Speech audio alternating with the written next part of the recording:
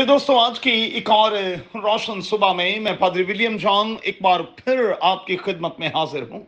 میرے ساتھ دیکھیں، پیدائش کی کتاب کا بیسواں باب اور اس کی ساتویں اور آٹھویں آیت۔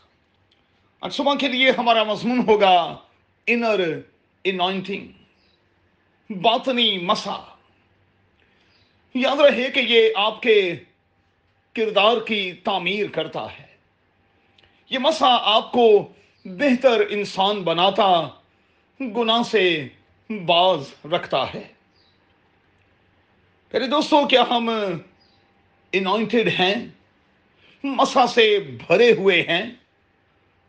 اچھا غور کریں کس طرح خدا نے ابھی ملک پر ظاہر ہو کر خواب کے ذریعے اس سے کلام کیا۔ اسے کہا کہ ابراہم کی بیوی واپس کر دے۔ وہ نبی ہے، وہ تیرے لیے دعا کرے گا اور تو بچا رہے گا۔ اگر تو ایسا نہیں کرے گا تو تو اور تیرے لوگ مارے جائیں گے۔ خدا پیارے دوستو رویا کے ذریعے، خواب کے ذریعے کلام کرتا رہا ہے اور آج بھی کر رہا ہے۔ اس نے فراؤن سے بار بار کلام کیا۔ اس نے نبوکت نظر سے کلام کیا۔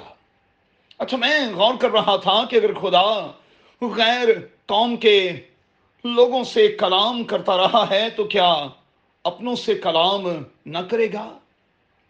ضرور کرے گا۔ بس آپ خود کے لیے مسا کو مانگیں، اپنے کانوں کو ٹیون کر لیں تاکہ آپ خدا کی آواز کو سن سکیں۔ ایسا کرنے سے آپ کے نقصان نہیں ہوگا۔ آپ کی عزت محفوظ رہے گی۔ متی کی انجیل کے تیرہویں باپ کی روشنی میں ابلیس ہمارے سوتے ہوئے آتا ہے اور کڑوا بیج بو کر چلا جاتا ہے۔ کچھ کڑوے دانے ہمارے ارد گرد بھی ہمیں واضح طور پر دکھائی دیتے سو ہمیں ان سے چوکنا اور ہوشیار رہنے کی ضرورت ہے۔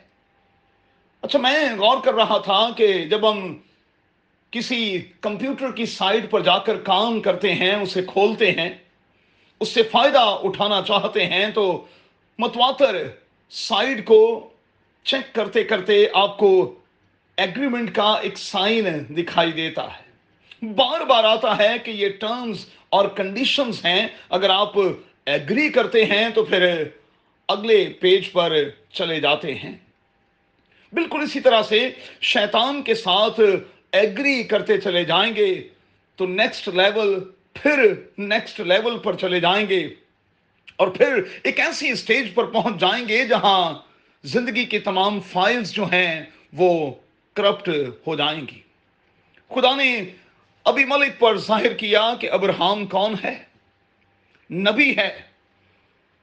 سو اسے بائبل کے خدا نے نقصان سے بچایا اور پورے طور پر دوستو محفوظ رکھا۔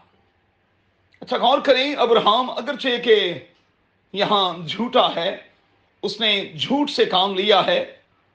اس نے بادشاہ کو سچائی سے واقف نہیں کیا، لیکن تو بھی بائبل کے خدا نے اسے نہیں چھوڑا۔ پہلے دوستو، میں اور آپ کیسے بھی کیوں نہ ہوں، بائبل کا خدا ہمیں کبھی چھوڑتا نہیں ہے۔ وہ اپنے سورج کو نیکوں اور بدوں دونوں پر اور اپنی بارش کو نیکوں اور بدوں دونوں پر برساتا ہے۔ تو پھر کیا کریں؟